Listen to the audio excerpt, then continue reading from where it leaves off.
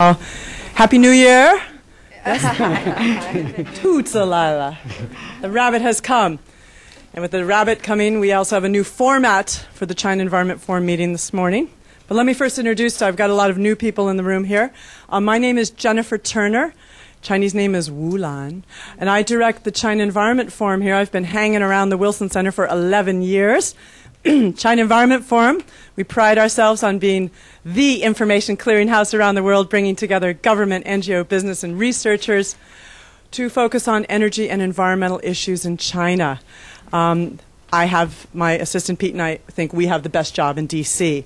Um, as uh, most, we've long covered, we've done a lot on, on energy issues over the past year, and those of you that haven't looked at it yet, we have a new website that was launched with Circle of Blue called Choke Point China that's looking at how energy development is impacting water resources in China. Strongly encourage you to look at it, give us some feedback. It's kind of new cutting edge information. And it's uh, been supported, that's been supported by Energy Foundation, Rockefeller Brother Fund, Blue Moon Fund, Vermont Law School, and USAID. They're, they support all the stuff that we do, more or less. Today, um, um, China Environment Forum has long also dug into environmental governance trends in China um, through our meetings, publications, our matchmaking. And for, th- for this, in the last two years, we've been able to dig a lot deeper into environmental governance issues in great part, and I'm thanking my Vermont Law School colleagues from the U.S. China Partnership for Environmental Law program.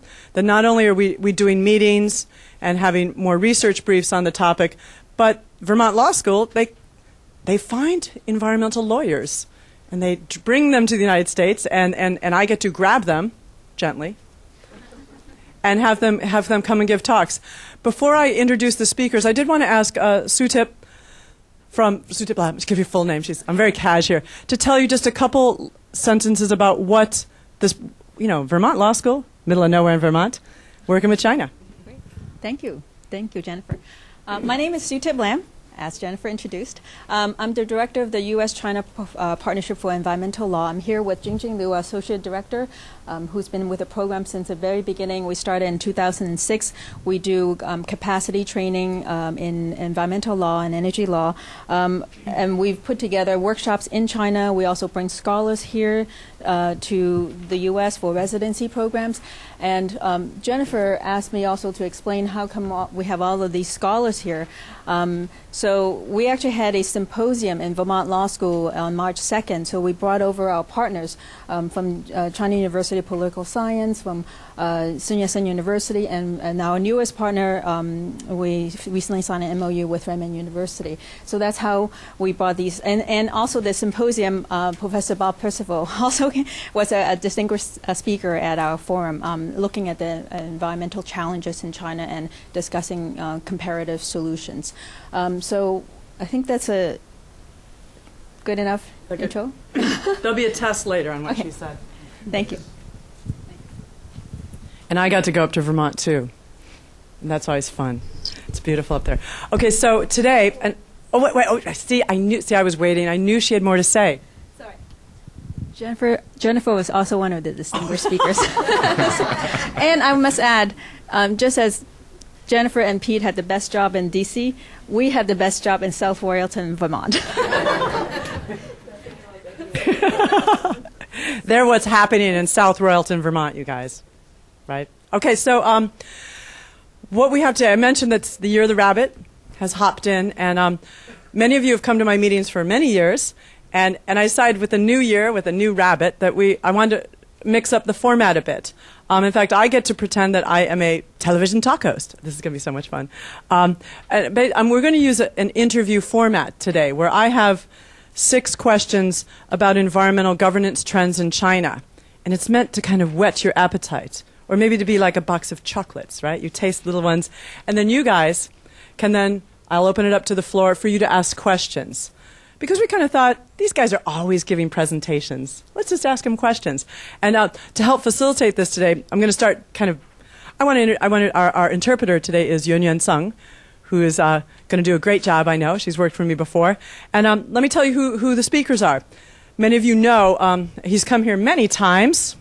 I think I'm going to give you a, maybe a, a third time. Third time, but also sends a lot of his colleagues Um, Wang Fa. He's a professor at the Chinese University of Political Science and Law, and he's the director of the Center for Legal Assistance to Pollution Victims, which is a truly cutting edge environmental NGO in China. It's the only legal aid NGO that I know of. But he's not alone. Over the years, he has built a network of lawyers around China who bring public, public interest law cases, uh, well, uh, uh, class action cases for pollution victims to the courts. He's been involved not only working with, with VLS, but EPA and other organizations to do training for judges and lawyers. And I think he, as well as many of the other panelists here, have their fingerprints on a lot of the laws that have been passed over the past um, decade in China on the environment.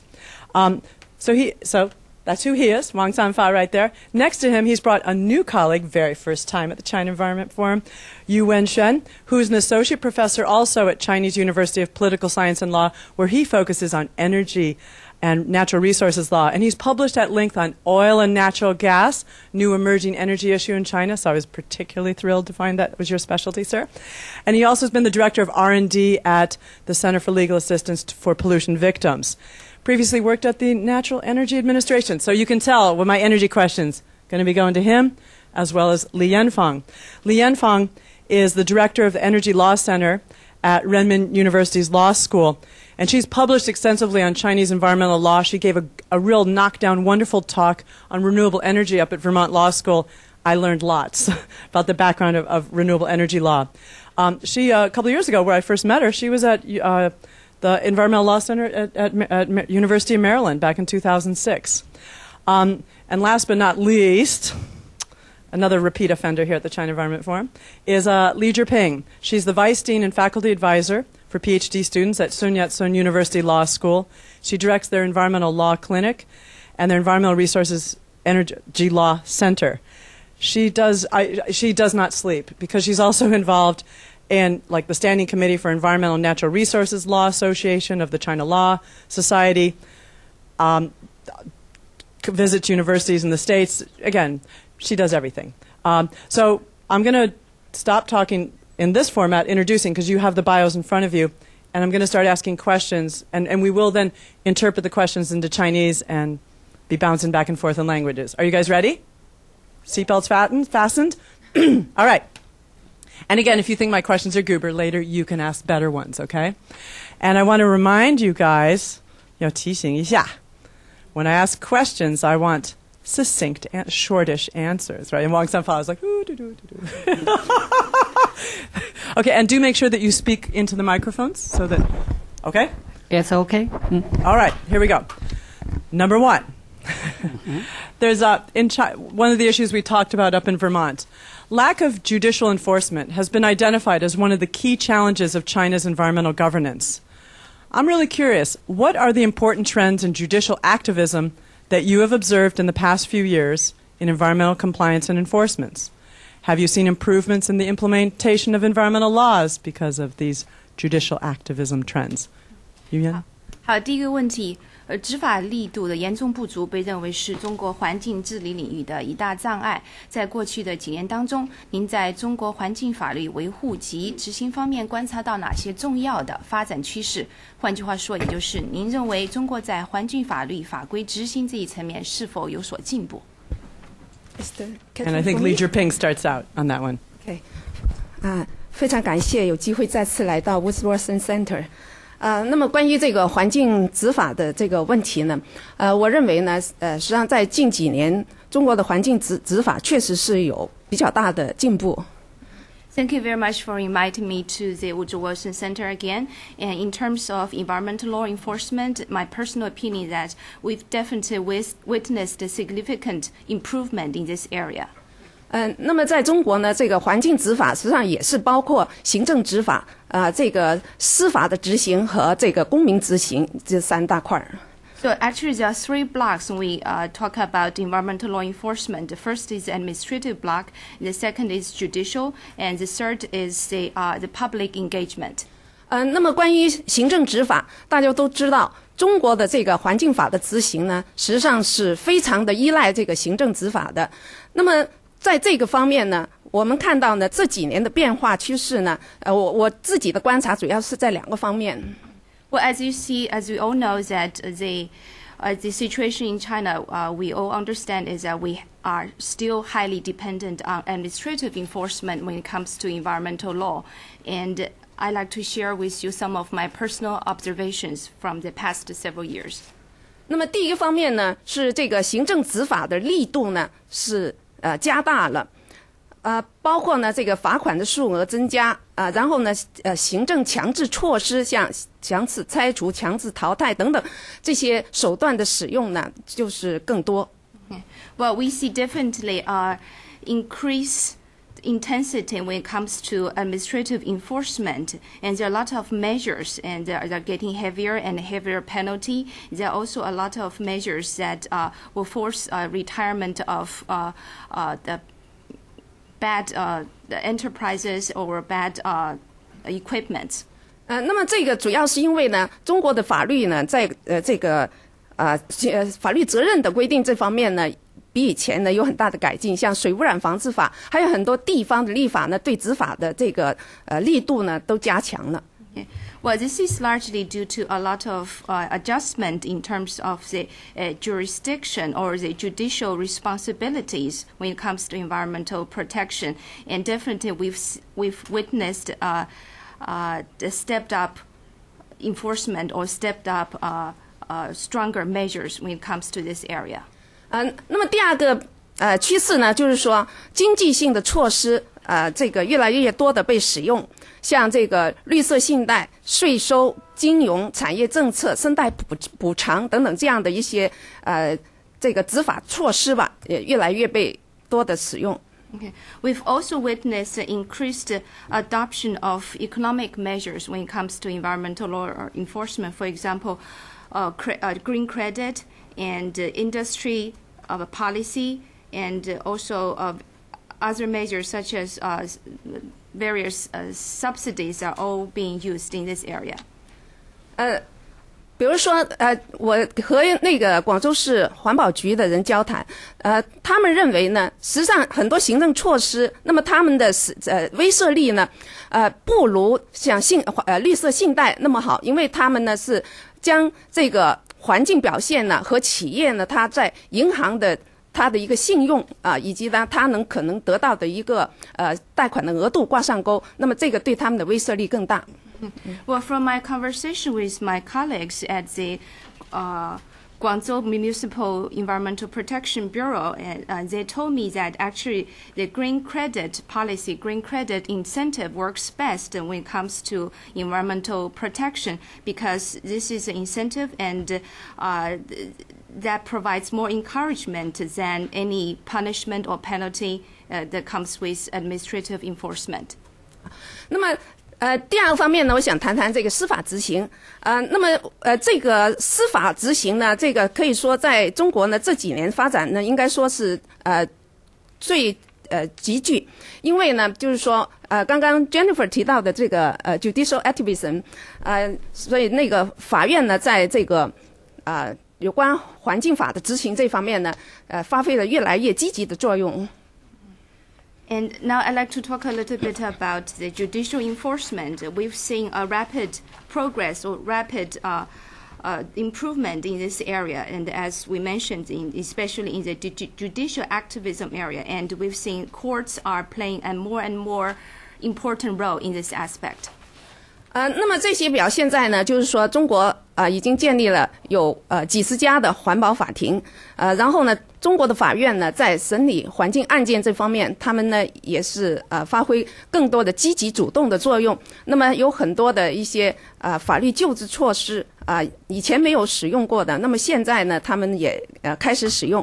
那么在这个公益诉讼这方面呢，他们也向呃社会打开了大门。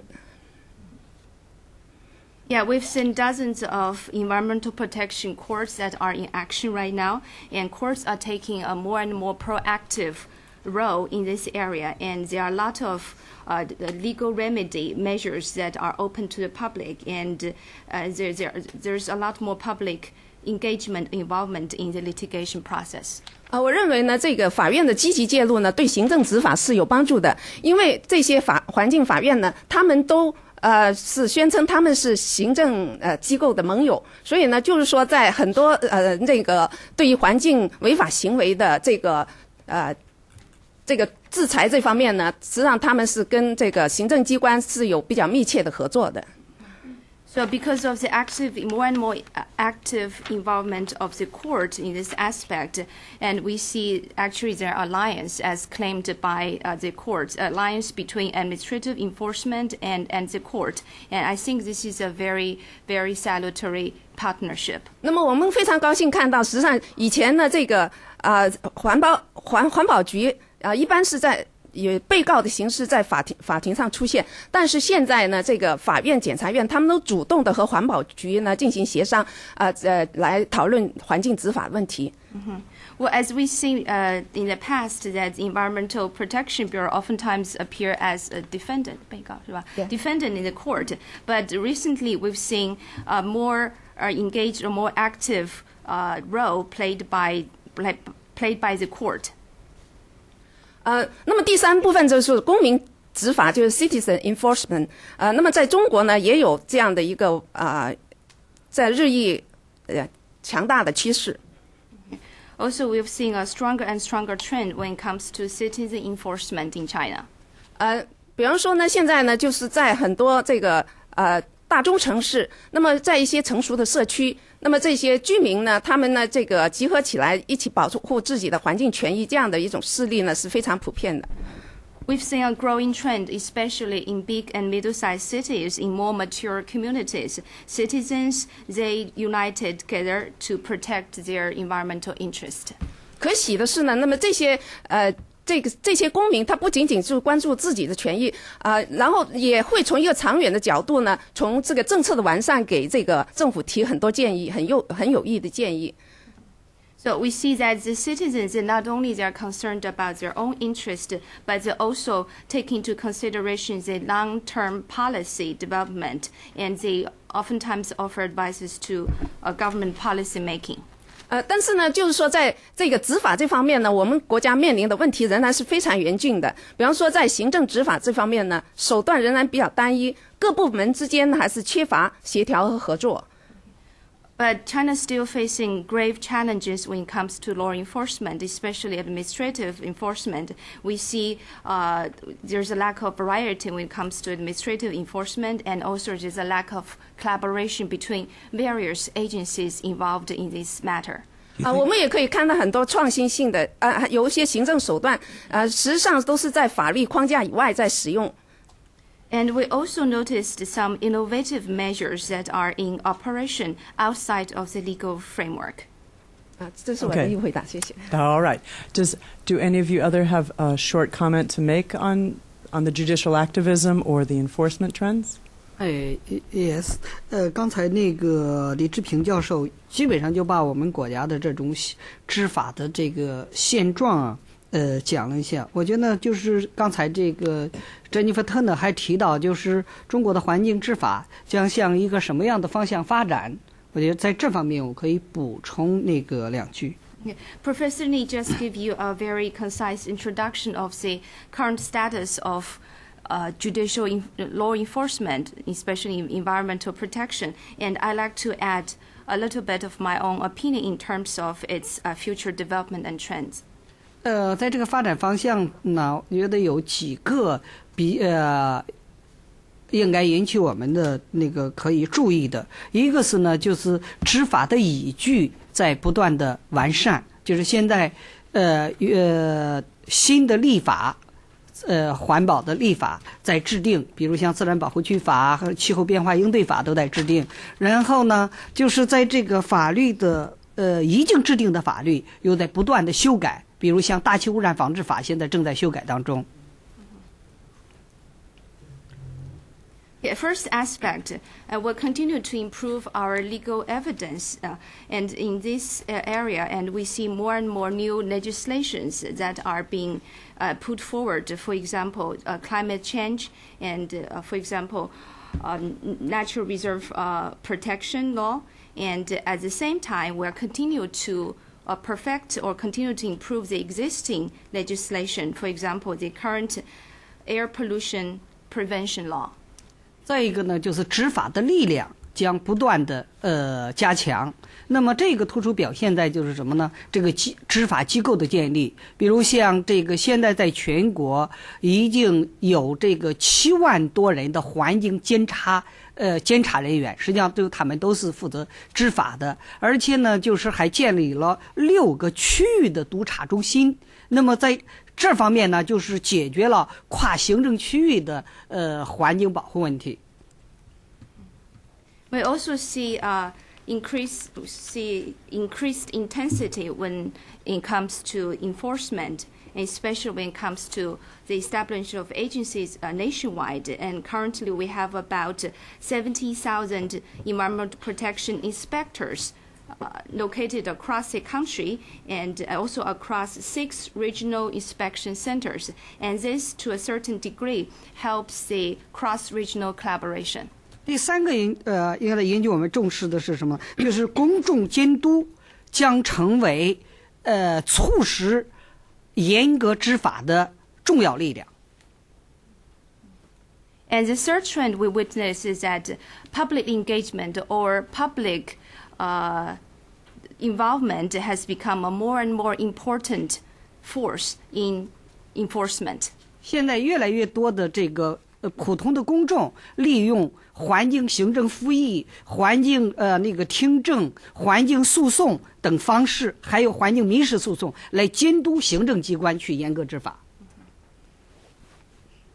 Yeah. More and more citizens are taking up the role and through uh, various processes, for example, hearing or litigation, those processes to participate in environmental or law enforcement supervision. 那么最后一个引起我们重视的就是第四点是什么？环境司法将不断的加强。 And the fourth point is we see a continued improvement in environmental judicial enforcement. 就近几年环法院所受理的环境案件，每年以百分之二十五的速度来增长。就去年仅仅是北京，北京的环境这个应该是比较好的，北京受理了四百多起的环境案件。So we see a annual increase of 125% in terms of the uh, number of cases our, our courts are handling every year. And uh, to use Beijing as an example, last year there are 400 over 400 legal cases filed with the courts in Beijing. 大家可以 And, and 看 all of these 嗯 do, OK 都是环保的. They were all 对 environmental 对 cases. 对 Okay. 大家可以看到，就是呃，最近几年不断的有污染的企业的厂长、经理或者环保局呃怠于执法的工作人员被送上法庭被判罪，呃，而且呢，就是刚刚 全国人大呃常委会修改了刑法第六章第六节的那个规定，就把重大环境污染事故罪又给它扩展了，就是更容易起诉环境犯罪人。所以呢，这个呢都会是增强呃环境执法的重要的方面。Okay.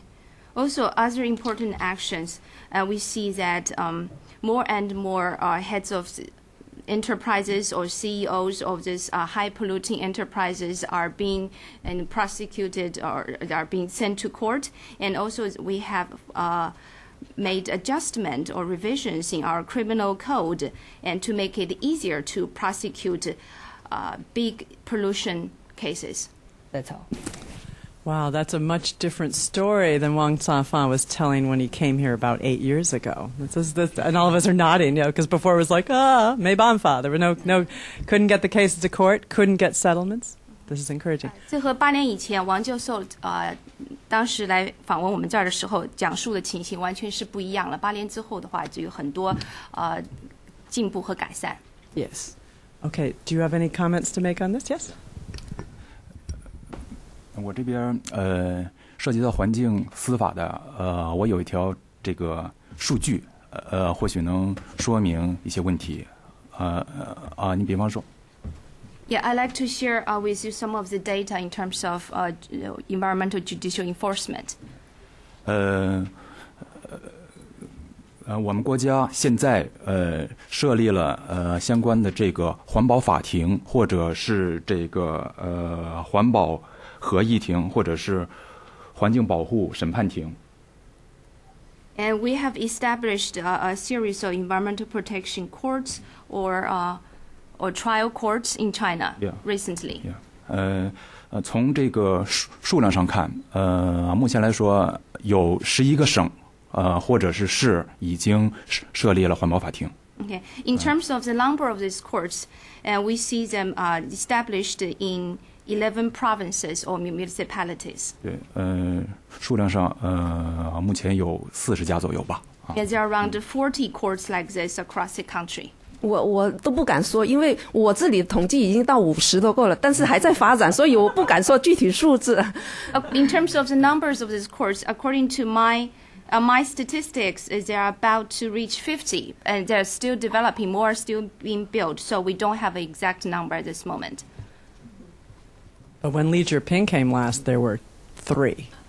嗯，当李教授上次呃来访问的时候的话，当时呃全国全中国只有三家环保法庭。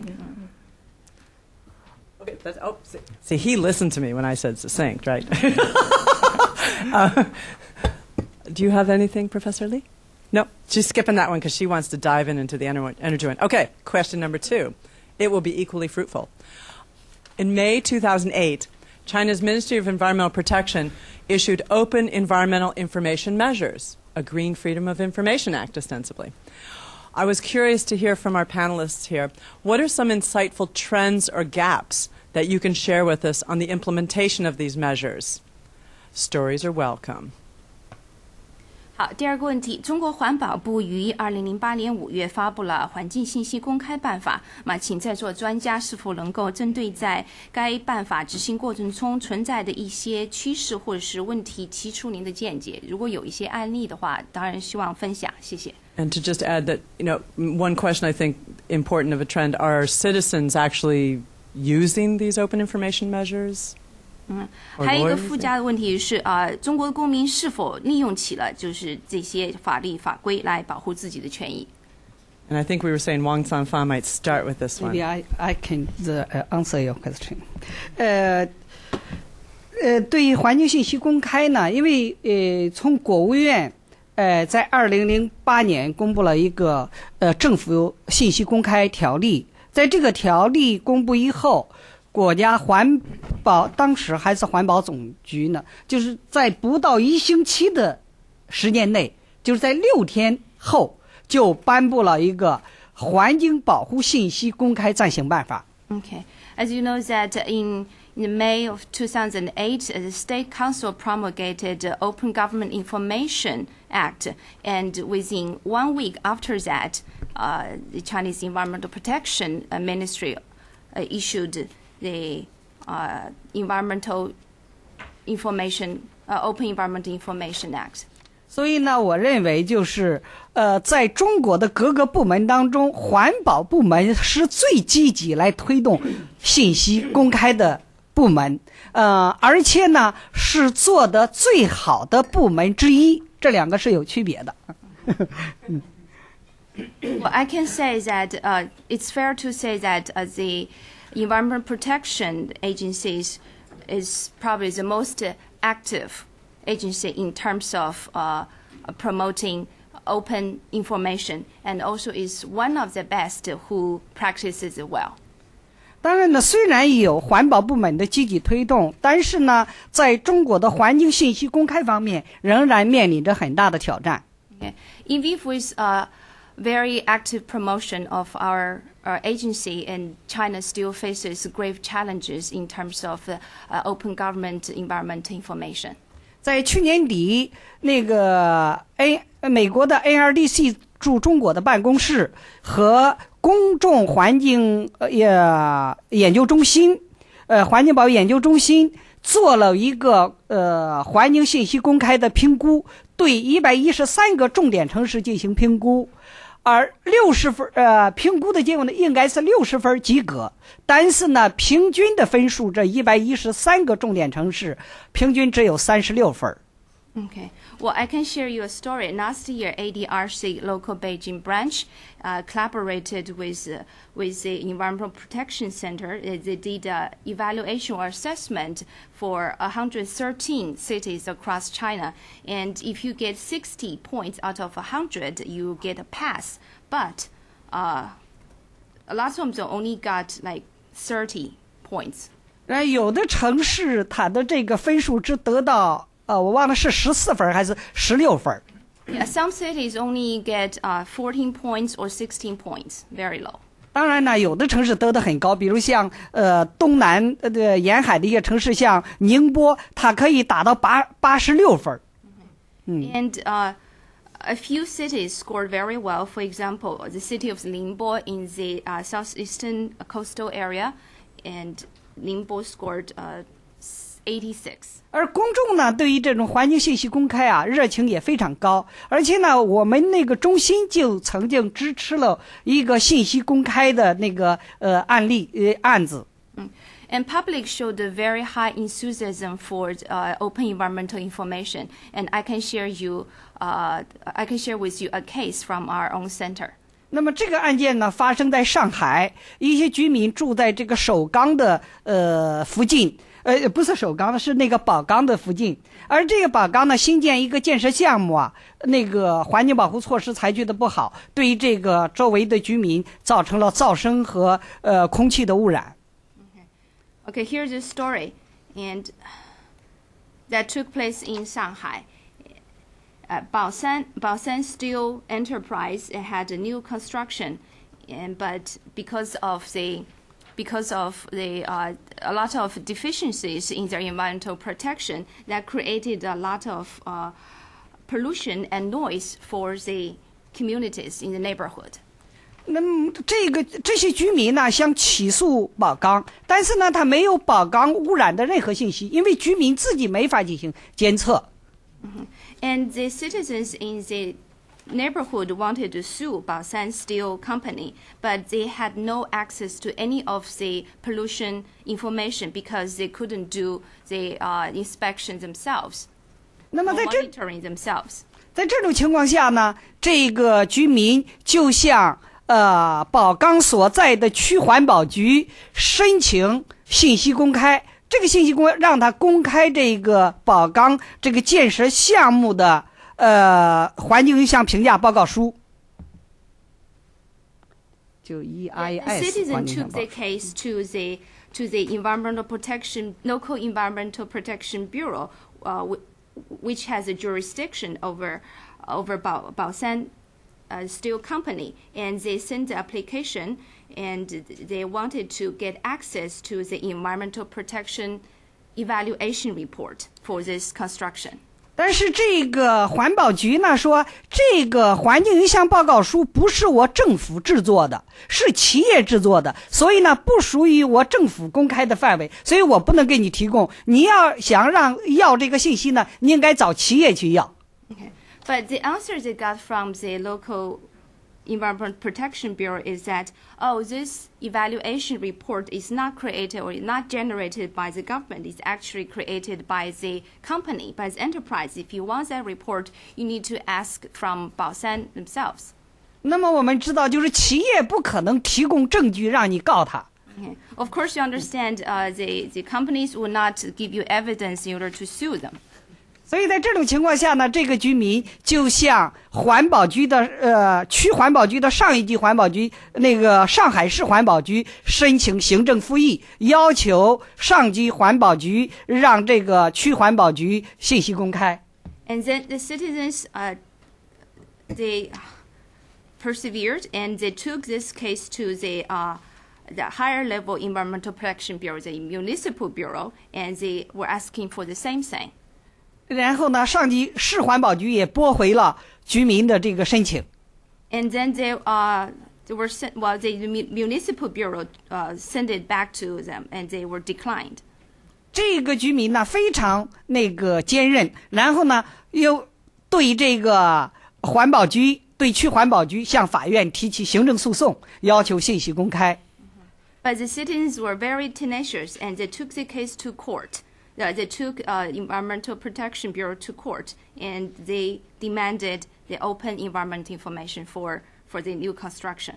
但是区法院呢也驳回了这个居民的起诉，说不属于公开的范围。 But the local district court uh, sent it back, and they re- re- they declined to take it, and they said uh, this is not within our responsibility. 那么这个居民不服呢，又上诉到那个上海市中级人民法院。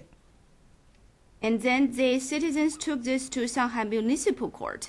中级法院呢就维护，呃呃，就这个维持原判判决，呃要裁定驳回当事人的这个上诉。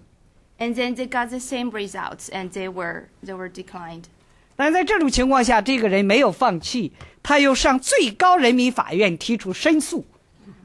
But the citizens did not give up, and they took this to the Supreme Court. 经过三年的努力，然后呢，最在最高法院的协调下，呃，上海市的呃环保部门、法院和政府法制办一起来解决这个问题，最后让这个居民得到了他所要的信息。Well, after three years of effort, after they took this to the Supreme Court, and also at the mediation of the Supreme Court, uh, Supreme Court, and all the involved parties uh, locally at Shanghai, uh, the Environmental Protection Agency, the local court, and the other government agencies, they all worked together. Eventually, the citizens got the report. 而且呢，还补偿了这个人在这两三年当中为申请信息公开所花费的来回的费用和他的损失。 And also, the citizens were compensated for all these uh, expenses during the past uh, several years in terms of uh, travel and uh, and all these costs involved in uh, taking the taking the case to different places.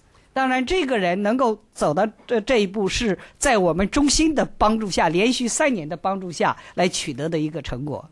Okay, this is a successful case of a citizen uh, who eventually uh, obtained the victory with the help of our center. OK， I think we should applaud. But clearly, very setting a precedent, hopefully, for a model for other student, uh, other other citizens to move forward. Thank you, Wang Canfa. Are there some some other? It only took three years, but hey, it was a full time job for the guy doing it. Um, do we have some other comments on the open information measures from anyone else on the panel? 就政府信息公开，有没有其他几位专家有没有补充？Maybe Wang Canfa is a hard act to follow. good 没事儿，他这个是开着的。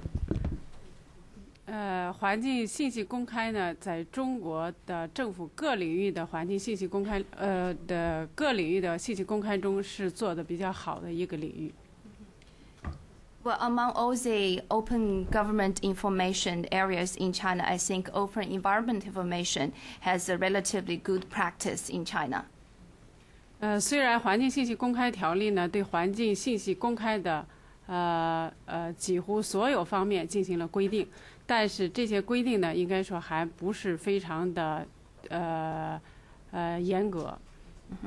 Well, in the open environmental information uh, measures itself, uh, we see various rules and regulations when it comes to uh, different aspects of environmental information. And despite the fact we have rules and regulations, uh, I, my, my personal view is they are not strict enough. 嗯，中国环境立法和政策制定中一个比较呃普遍的问题，就是对政府不作为的法律责任的规定呢不是非常到位。 Well, a, a a common problem we see in this area is uh, and we do not have enough enforcement or enough uh, uh, requirements, strict environment when it comes to government non-action 那么就比如说 or 在 non-performance. 嗯，就是比如说王老师刚才讲的这个案子中，那么政府不按照啊、条例，呃不按照规定公开应当公开的信息，那么怎么来追究他们的责任？法律条例本身规定的不是非常清楚。Okay. Well, just as the case Professor Wang shared with you, when it comes to government agencies uh, that do not conform to those rules and regulations in terms of uh, open government information to the public, when they do not perform, uh, we do not have that much uh, recourse in terms of, in, of seeking uh, s- uh, seeking help. 因此，未来中国环境信息公开，呃，需要做的一个很重要的工作，那么就是要对政府不作为的行为，呃，规定明确的法律责任。 Okay, so a very important work we have to do in offering environmental information uh, measures or enforcement of these measures is we have to you have to stipulate, stipulate very clear rules and regulations and to to make government perform what uh, government agencies perform what they're supposed to do. Okay, I'm going to move on to the next question. This one, uh, you know, these are these are all um, lawyers who work at universities, and I think I would be remiss in not asking them about the environmental law clinics in China that are that appear to be growing in number. And I was curious about overall in China, are do most un- university law schools have these kinds of clinics, environmental law clinics? And also, because I love anecdotes, can you relate a short anecdote that demonstrates the impact of such clinics on the students and local communities? Let's try to keep it brief, but yeah, um, I don't know if who wants to start, Li Zhiping or 好的，那各位专家在所在的大学呢，都有有参参与一些关于环境呃环境法律诊所的工作。那这样的法律诊所在中国的大学东西部的大学是否常见？然后呢，请专家能否啊、给我们分享一个就是类似的诊所在大学以及在当地社区中所产生的影响的案例？啊、那么这个法法律诊所教育呢，是从美国引入的一种教育模式。And the model, the, this uh, this pedagogical model of environmental law clinic uh, is actually introduced from the United States to China. 呃，据中国法呃法律诊所教育委员会的统计呢，到去年年底呢，中国已经有一百八十多所大学的法学院建立了法律诊所。 According to the statistics we get from uh, last year, there are about uh, uh, there are environmental law clinics And environmental but the uh, clinic just clinic clinics Yeah, that have clinic. been established uh, among 180 university law schools. 呃，那么但是呢，在环境法诊所呢，据我所知，大概只有四到五家。王老师，我不知道您，环境法诊所不多，嗯，我我我我，据我掌握的数字只有四到五家。哦，就呃，一个就是那个政法大学、中南财经政法大学、中山大学、海洋大学，据我所知已经建立，大概就是这四家，还有其他的，我就北京理工大学也也想，就上一学期他们说开，我不知道开出来没有。我们这儿也要开，我们这儿也要建立，跟我们的啊 啊，那目前来说就就应该只有几家。But there are different law clinics established uh, across 180 university law schools. But when it comes to environmental law clinics, uh, about I think nationwide only have four to five of them. 呃，那么这个法律诊所呢，他们所从事的活动呢，实际上呃，大家的这个侧重点是有不同的，有一些呢是以处理呢这个个案，或者说是以诉讼为主。 Well, different environmental law clinics have their different focus, and some are more focused on cases or litigation. 那么有一些呢是以一个这个政策分析、政策研究，呃，以及处理立法为主。 Some are more focused on policy analysis and legislation. 呃，那么王教授所在中国政法大学，他们就是很典型的以诉讼为主的呃法律诊所，而我所在的这个中山大学法学院的法律环境法诊所呢，主要还是以这个呃政策呃分析研究以及呃立法建议等等这方面为主。So, for example, Professor Wang, uh, who is from um, University of Political Science and Law, and their environmental law clinic is mostly focused on litigation. And uh, in my university, in zhongsan University, our environmental law clinic is mostly focused on policy analysis and and consultation. 呃，但是呢，我们呢就是在佛蒙特法学院的支持下，那么我们在去年已经正式启动一个环境健康法律呃这个环境诊所项目。那么这个项目呃，它也是呃会接受越来越多的这个个案。Well, under the sponsorship of Vermont Law School, we've established a special program, special program for environmental health, and we expect to handle more cases, individual cases in this program. 呃，那么关于这个我们诊所呃受理的一些项目或者是案件所产生社会影响，那么我我首先呢，我就说想在这里强调一下，对于我们呢选择 这个案件或者是选择项目呢，我们首先还是考虑教育意义，因为毕竟来说我们这是一个教育项目。Well, in terms of the social impact of our environmental law clinics and in the selection of cases or in selection of program, we pr- put priority on its edu- edu- educational value because uh, we are uh, a, a law school and the teaching is our number one priority. 啊、所以我们选择的呃有关的这个参与立法和政策制定呢，都是属于环境法领域的一些非常核心，涉及到环境法领域非常核心问题的那样的一些活动啊、比方说呢，像这个公众参与、信息公开、呃公益诉讼啊、还有这个有关这个法律责任制度的完善等等，我们就是说涉及到这些方面的一些政策和立法的一些呃这个调研啊和呃提供建议。Yeah. That's why our, our activities at the clinic is mostly is centered on activities involving um, the legislation or policy making, and especially when it comes to public or civic engagement and open environment, uh, environmental, uh, open environmental information, and so on. 呃，那么我我就想和大家分享一下，就是我们去年呢刚刚完成的一个呃项目，呃，也是与公益诉讼有关的。那么我们呢法律诊所和广州海事法院，那么我们呢共同呢就是对海事法院从一九九一年以来所有的相关的公益诉讼案件呢，做一次总体的这个啊、调查、分析、研究这样的一个工作。Well, I'd like to share uh, with you uh, an anecdote, or actually a program we uh, conducted last year in the area of public interest litigation. And we, uh, with collaboration with a few local agencies, and we conducted a thorough investigation and analysis of the maritime court cases since 1991.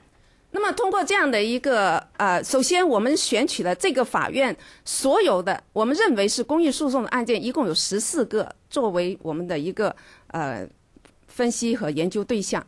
Okay, so we selected fourteen cases that are considered public interest litigation cases from, from this court. 那么我们呢是将这个所有的案件呢，它所有相关资料呢，我们都找出来，然后我们就是区分了一呃一些主要的法律问题呢，把它分解，然后进行分析。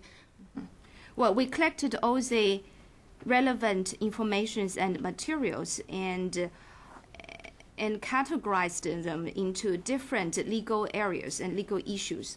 呃，那么在这个分析统计的一种基础上呢，我们呢就是得出啊、一些结论。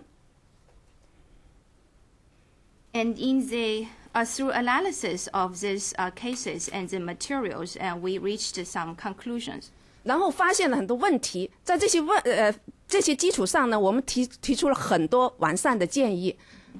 And In this process, in this investigation and analysis process, we discovered a number of issues, and based on these issues, we provided uh, uh, a number of uh, policy uh, advice. 那么我们这样的形成了一个报告，那么我们提交给海事法院，那么海事法院他们的院长还有他们的这个呃审判委员会专门开会来讨论这个报告，他们认为对他们是有很很好的这个 一个呃今后完善这方面工作有很好的基呃这个作用。And we eventually generated a report which was submitted to the Mar- Maritime Court. And Maritime, the head of the court as well as the trial panel, they got together and studied the, re- the report, and they find it very, uh, very helpful and very useful for their uh, uh, the future work. 那么他们将报告呢提交给了省高院还有最高人民法院，呃，然后这个呃也希望呢就是说能够呃对这些呃司法实践有所建议。And the Maritime Court also submitted the same report to the provincial uh, high court as well as the Supreme Court in the hope that uh, this, this policy advice would continue. 那么更为高兴的是呢，那么海事法院还将这份报告提交给就是二零一零年呢这个全国海事审判委员会。那么这个是全国所有的海事法院他们汇集在一起，那么这个进行的一个交流。那么这次会议的主题也是环境公益诉讼。那么我们的报告呢是得到了大会的一等奖。And the report was also submitted to the annual Maritime Court Trial Panel uh, Convention of uh, 2010. And uh, this is a very helpful report. Uh, uh, that, that's, um, I mean, th- th- that's how it was considered and was actually given the first prize at the convention. 所以我想这是一个事例吧，可能既对学生有教育意义，也会有一些社会影响。 I think this is an uh, interesting case that uh, uh, I share with you, and uh, as well as its social impact and its pedagogical value to our students. That was a great anecdote. So, do any anyone else have that's wonderful? I mean, that's great, and those students so smart after all this work. Some other comments from anyone else on the panel? 嗯、错吗？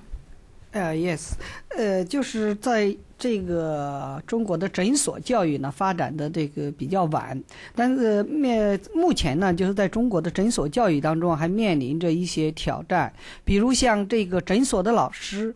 在美国呢，他们专门有诊所的那个负责诊所教育的老师，照样可以提教授。但是在中国呢，你必须写了论文以后， 你呃出了书以后才能提教授。但是呢，诊所教育的老师呢，往往都是直接面给学生呃指导学生办案件，比如像这个研究法律条文，很少去写文章、写写书，所以呢，那个职称提起来就比较那个困难。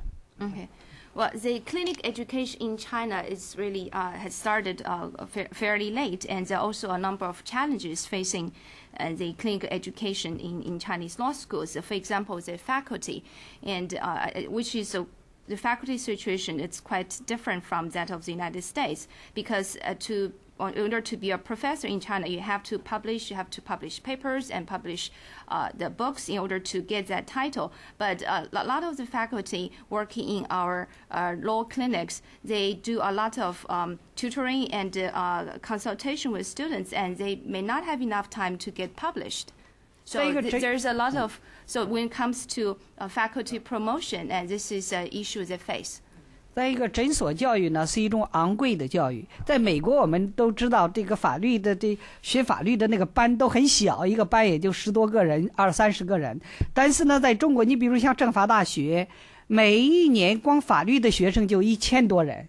如果都要诊所教育的话，一个班只能十来个人，就需要很多很多的老师。所以，这是中国的大学所难以承承担的。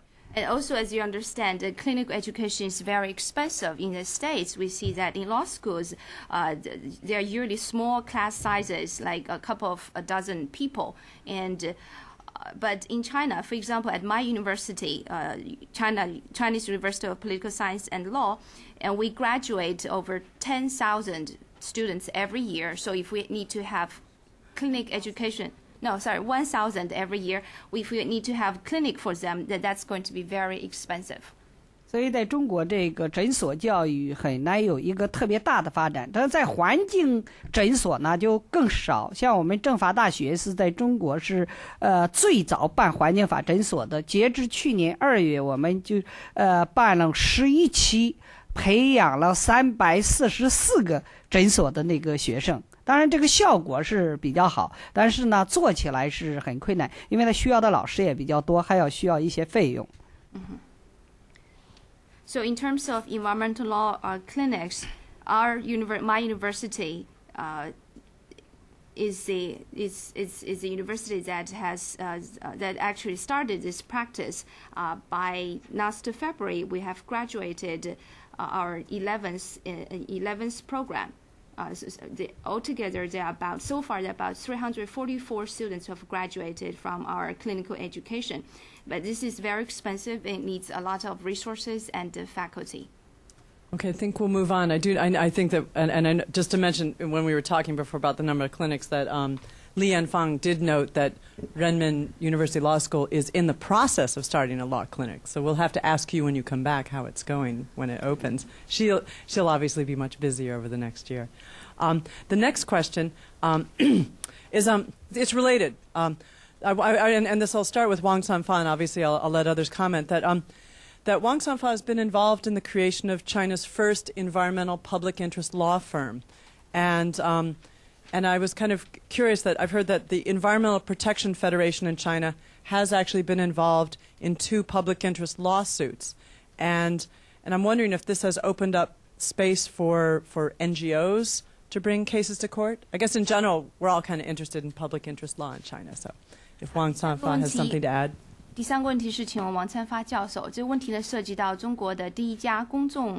环境利益律师事务所，以及啊、就是中共公众利益诉讼方面的发展。我们知道，中华环保联合会已经参与了两起公众环境利益的官司。那么，请问这是否为更多的非政府的组织的介入这一领域打开了窗口？嗯，是的，那个现在呢，就是中国呢，呃，从各个层面在推动环境公益诉讼，呃，实际上呢，就是在实践，呃，要 先于立法。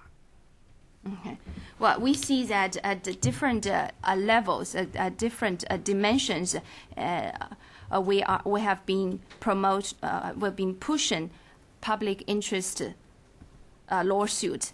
And the, the fact in China, this, the reality in China is actually practice uh, is practice goes before legislation. 那么一开始呢，是那个检察院， 呃，要提起环境公益诉讼，比如在广州呃市的那个检察院，就为一起环境污染的案件为受害者来提起公益诉讼。Okay. For example, I can share you uh, share with you a case in Guangzhou, and uh, a public interest lawsuit was uh, was brought to the court. 呃，但后来呢，发展到就是政府组织的 NGO 来开始提起公益诉讼，这就是那个 Jennifer Turner 所提到的，就中华环保联合会呃提起了两起公益诉讼。And also, uh, after that, we see that uh, Environmental Protection Federation uh, has brought two public interest uh, lawsuit to the court. 呃，那么去年的提起的那个公益诉讼，在贵州清镇市那个呃环境法庭，这个还是比较呃成功的。We also saw a successful case uh, uh, brought to the Environmental Protection Court in Guizhou Province last year. 但是呢，我认为呢，就是中华环保联合会所提起的这种公益诉讼呢，缺乏典典型性，因为它是。由政府组织的一个 NGO 具有一定的这个行政的地位，比如像他的那个呃联合会的秘书长都必须经过这个环保部门来来任命，所以呢，在对地方也有一定的影响。所以呃，而要真正的发展公益诉讼呢，应该是呃让这个真正的 grass 呃 grass 呃 grassroot NGO，也就是说草根 NGO。来提起公益诉讼，甚至发展到呢，由市民、由每一个个人都可以因为公共利益来提起诉讼，这才是真正的发展到公益诉讼。But I also understand that uh, the two public interest lawsuits brought by Environmental Protection Federation in China are not very typical because the federation itself is a semi-government uh, agency. Its uh, uh Secretary General has to be approved by the local environmental protection bureau. So that's why I, I consider the two two cases brought by Environmental Protection Federation are not very representative. But in also, I think, in my opinion, and the real public interest lawsuit should be brought by grassroots NGOs or even by individual citizens, and that's considered 啊，呃 truly representative and typical of environmental interest lawsuit. 呃，刚才那个珍妮弗提到，就是我们这个中心现在又建立了一个呃律师事务所，这个呢就是那个专门帮助污染受害者提起诉讼的这呃律师事务，免费帮污染受害者提起诉讼，而且呢，这个律师事务所作为一个独立的一个法人，就是呃呃可以。以后呢也有可能以他自己的名义来提起公益诉讼。 Also, as uh, Jennifer mentioned, that at our university we have a center for legal assistance to pollution victims. We provide pro bono service to pollution victims, and I think in the future the center itself can uh, bring law uh, lawsuit to court. Okay, good. Anyone else have any comments to make on it? This question? 其他还有补充吗？ Okay, now we're going to move a little bit to energy law, and then I'm going to open it up to you guys. Okay, so, you know, take an extra sip of coffee, get ready. You're almost on, on stage here. Um, we've, um, 12th five year plan is in the process of being revealed to us, right? Um, and I was, but I, I wanted to look back at, you know, we've heard a lot about the strengths of the, of the energy policies and, and the energy targets in the 11th five year plan. And I was kind of wondering what um, probably uh, Li Yanfang and Yu Wenxuan think might be um, some trends that they'll see in the 12th five year plan on, on energy in particular, and what gaps do you think might need to be filled on the regulation front? I guess we could also add pollution to this so the others can jump in. OK，好的，就我们已经领略了中国在“十一五”计划中涉及能源以及减排方面呃所展现的雄心和和呃计划，也同样的就是感兴趣是在“十二五”正在审议的“十二五”计划中会有哪些新的目标？您认为在“十二五”计划中相关法规方面需要哪些重要的工作完成，或者是需要哪些鸿沟需要弥补？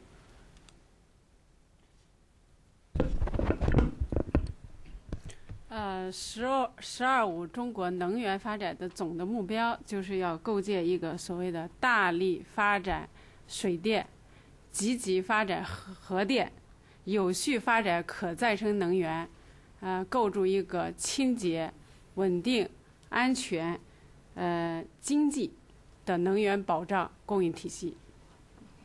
Well, according to the 12th five-year plan, and this is the uh, overall objective in terms of uh, energy, and the emphasis, the priorities given to hydroelectric power development and also uh, nuclear energy, nuclear power development is, is very important, and we also need to orderly research and develop renewable energy. And the overall goal is to establish a balanced and orderly uh, energy generation and uh, consumption framework for China. 在具体指标的计划上，那么我们的“十二五”期间，非化石燃料所占能源结构的比重要达到百分之十一点四。 Okay, so in terms of the percentage of these different categories of uh, energy, the non-fossil resources, non-fossil energy is expected to be uh, 11.4% of the overall energy consumption, non-fossil. 国内单位生产总值能耗和二氧化碳分别降降低百分之十六和百分之十七。呃，当然，这个呢，现在呃全国全国人大正在开会，没有还没有最后的结果，正在审议和讨论。嗯消息。 Well, you know, the, the two conferences are in session in China right now, and we're still waiting. But they are, uh, the goal is for per capita energy consumption and the CO2 emission, there should be a reduction of 16% and 17% respectively. 在可再生能源领域，那么我们的新的规划就是要以水电为主体，风电作为新生的力量，太阳能作为后续的潜力最大的可再生能源予以发展。 So in terms of renewable energy, and our focus, our emphasis is still on hydroelectric power, and also it should be supplemented by wind power and uh, as well as solar energy. 到二零一五年，风电的装机要达到九千万千瓦，生物质要达到一千三百万千瓦，核电是三千万千瓦，太阳能是五百万千瓦。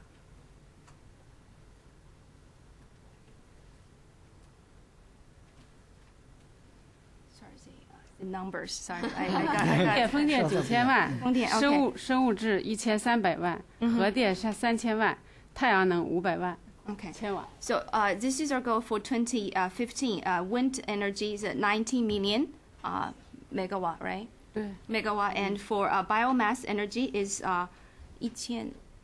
一千三1300一千三百 the 13, 13 million megawatt and for uh, nuclear energy generation and the goal is uh, 13 million uh, megawatt, and for solar energy, that's uh, 5 million megawatt. 那么电力的总装机是九九点五五五亿千瓦，水电的装机要达到两亿千瓦。这个装机呃达到两亿千瓦以后，中国水电装机应该是居世界第一的。 Okay. And for the overall energy generation, and I think our goal is uh, 950 million megawatt total, And among uh, among it, s- hydroelectric power should be 200 million megawatt. 那么，因为这个计划的和目标的形成，那么呢，呃，这些目标和计划呢，在未来的五年，应该对中国的能源的立法和政策的制定产生比较大的影响。All these goals and the plannings should play an important role, should have very influential uh, in- uh, role in terms of the policy making and legislation in this area. 那么在新的法律的制定呃方面呢，我们呃主要呃有三项立法可能会进入立，有的已经进入立法规划，有的正在进入立法立法规划，在未来五年，呃希望能够出台。 So for the next five years, and we have at least three legislations uh, at various uh, stages of the pipeline. 第一个立法呢就是能源法， The first legislation is on energy, the energy law.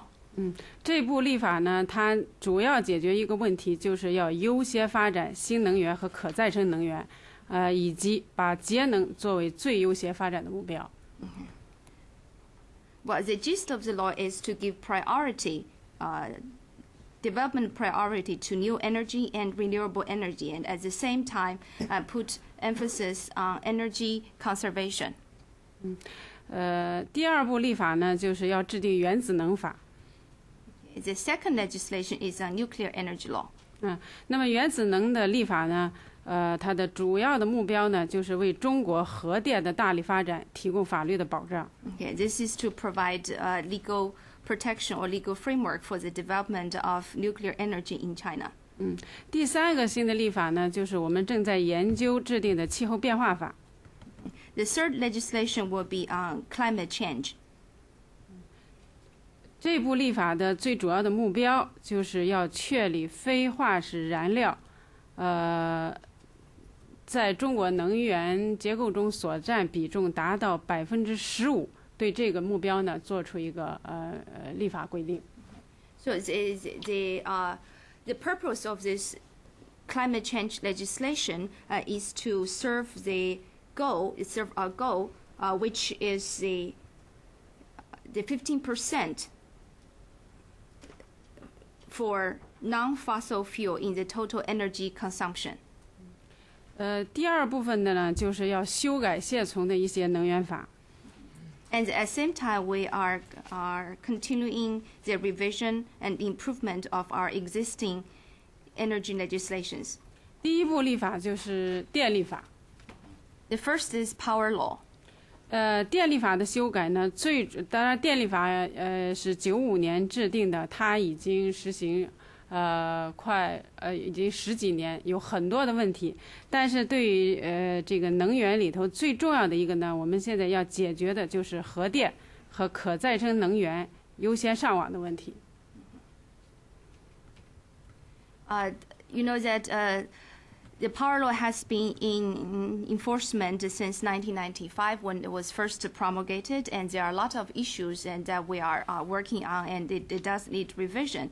And in, in this aspect, uh, we have to give priority consideration to the grid connection uh, for nuclear energy and uh, nuclear energy electricity and uh, renewable energy electricity. 嗯，那么特别是要规定，电网企业如果拒绝 和违反呃呃电力法，那么导致可再生能源电力不能上网，法律责任的承担问题。 Also, in the in the revision of the power law, and we are working on various provisions related to the uh, enf- uh, enforcement or the uh, the liability or the uh, the penalty uh, if if energy is generated by um, a nuclear power plant or or renewable energy electricity cannot be admitted to the grid. 呃，但是因为这个里面涉及到电网企业和电力企业的呃复杂的利益关系，所以这部法在十五、十一、十二五期间能否修改出台，呃，有非常大的困难。But uh, my personal estimation is that because there are a lot of complicated interests involved uh, among the uh, grid enterprises and the power enterprises, and I doubt that uh, the revision is going to be complete during the uh, 12th five-year plan. 呃，第二步要修改的重要立法就是煤炭法。 And the second legislation that needs to be re, uh, revised is our coal law. 那么这部立法呢，主要要针对煤炭企业的兼并、重组，呃，以及对煤炭的清洁利用，呃，以及呃保护矿工的安全，呃，进行呃大幅修改。Okay, so there are there are a lot of uh, big revisions uh, waiting to be done in the area of uh, merger and acquisition, restructuring of coal enterprises, and the clean use of coal, as well as uh, miners' safety protection. 那么在政策制定领域呢，我们现在集中做的一个政策呢，就是可再生能源配额的管理办法。And in terms of in the in the policy area, what we're actually uh, we are actively working on is the uh, quota system for renewable energy. 嗯那么这个办法呢，就要具体呃呃将可再生能源法关于要求呃电力企业发展可再生能源的这个配额呢具体化。 we have to put uh, uh, we have to put a concrete number or to have to uh, to give uh, concrete uh, measures to the uh, quota system when it comes to electricity generated from renewable sources. 嗯呃，要对发电企业、电网企业、地方政府呃完成相应的可再生能源的发电、上网 和指标做出明确的规定。 There should be very specific specific requirement uh, when it comes to power generation, grid connection, and the quota.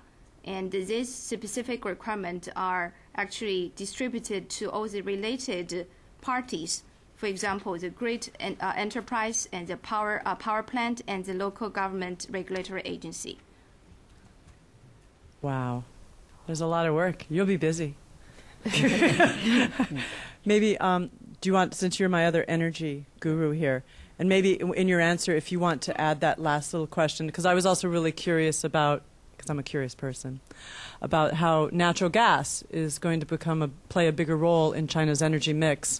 And I was kind of wondering, like shale as well, if there were any kind of gaps, because I don't, you know, we don't, you know, I don't think they have shale gas regulation in China yet. So 啊，那请呃，在座几位专家能否谈一下，就是中国的天然气啊、呃、的开发方面的一些就是啊、呃、法律法规方面的工作啊、其中也包括页岩气资源的开发。as well as anything that you want to maybe add to Li Yanfang about the energy, other energy laws. 或者是啊、呃任何你们希望就是补充作答的都都行。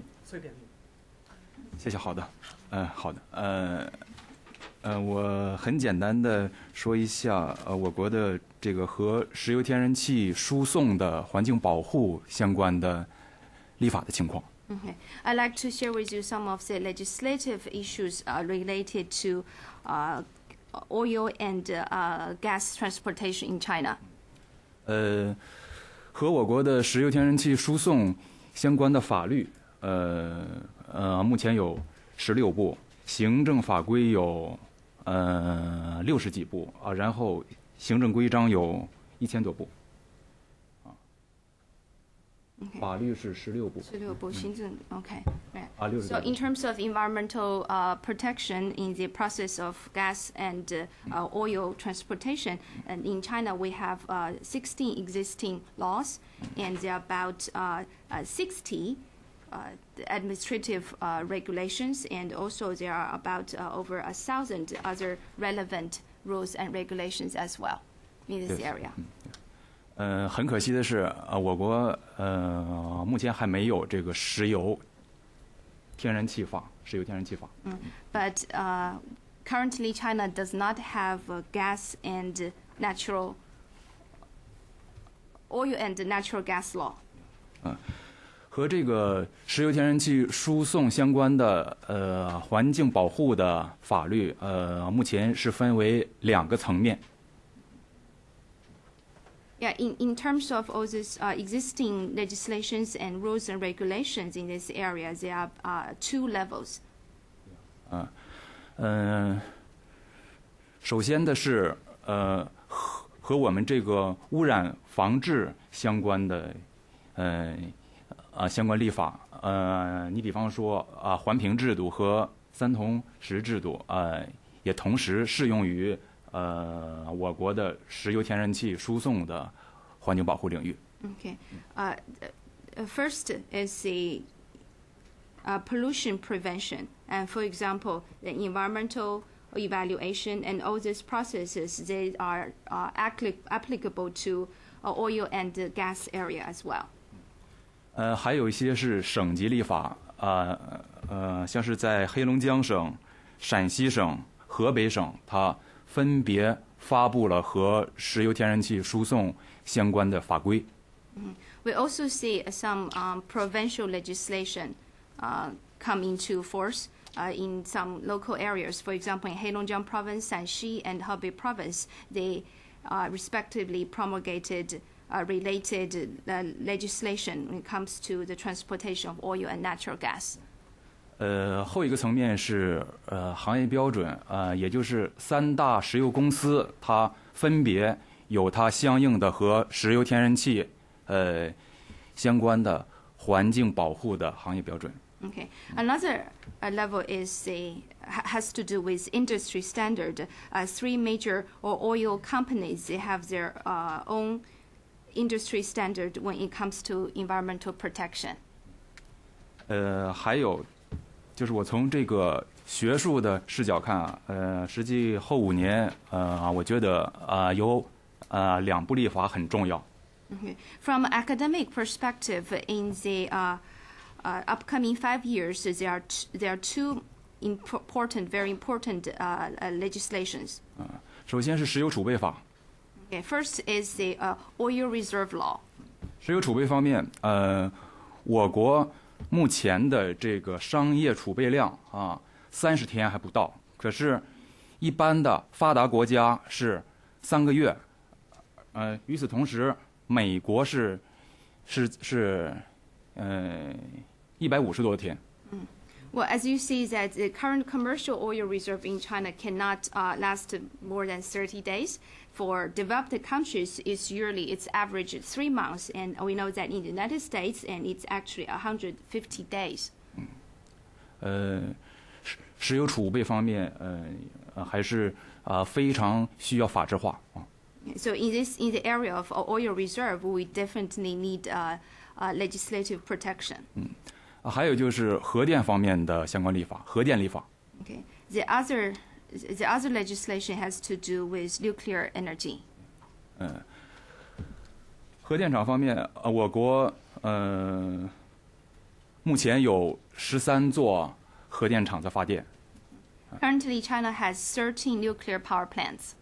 呃，实际上呃和美国相比是很少的，啊、美国呃目前来看有一百多座，嗯，yeah， Compared to the over 100 nuclear power plants in the United States, China's number is really small. 呃，核电发展呃也是需要法制化的，嗯。 And oh, in this area, nuclear energy, nuclear electricity development also needs legislative protection.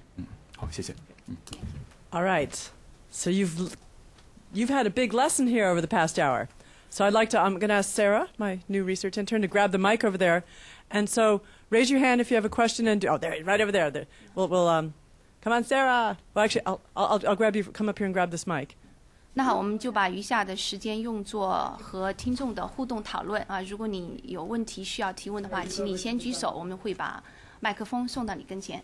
谢谢。 And please say your name and affiliation. 呀，请自我介绍一下，首先。 You first. My name is Susan Brom, and I work with the Environmental Protection Agency. I was very heartened to hear the uh, opinion that environmental enforcement is improving in China. Uh, that made me smile. I wonder if anyone would care to comment on how China is doing in implementing its environmental impact assessment requirements? And is this an area of fruitful citizens litigation type action?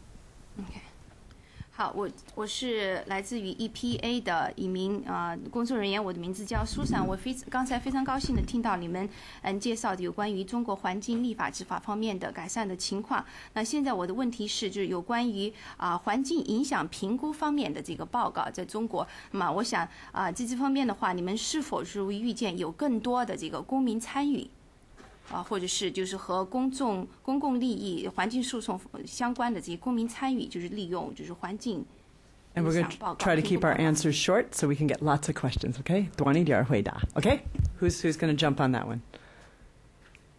回答吗？你说吧。王三发，让我说吧，就是对于这个环境影响评价的公众参与呢，现在有几个层次，一个是呢，就是对于建设项目的。呃，公众呃环境影响评价的公众参与，这个呢是明确规定，对于环境影响报告书应当征求公众的意见。就是说，如果这个环境影响报告书没有公众的意见，是不能被批准的。Okay. So there are actually several levels to, to this question in, in terms of uh, new constructions and new programs, and before it can be uh, before it can start, and it has to go through the process of environmental impact assessment, and also it has to include public opinions, public input. Without public input, and it cannot move forward. 再一个就是规划的环境影响评价的公众参与。对于呃规划，当然它这个哪些规划在那个立法里头规定的还是比较复杂的，需要呃，但是呢，总的一点是要规划的环境影响评价报告书。 或者是规划要做环境影响评价的，要通过开座谈会、听证会、论证会、专家呃意见咨询会等方式，让公众来参与规划的环境影响评价。Okay, so when it comes to the planning of this environmental impact assessment, and there should be a number of forums that have to that have to take place. For example, public hearing and expert panels, and all these forums are open to the public and they are invited or actually public should participate in all these forums in the planning process of this impact assessment. 当然，现在这个公众参与环境相评价的这个，呃，在环保部是有一个暂行办法，但是这个呢，仍然规定呢还不是非常的呃完善。Okay, well, we do have a, a, a provisional measure in terms of public engagement or civic engagement in environmental impact assessment, but it's not uh, perfect.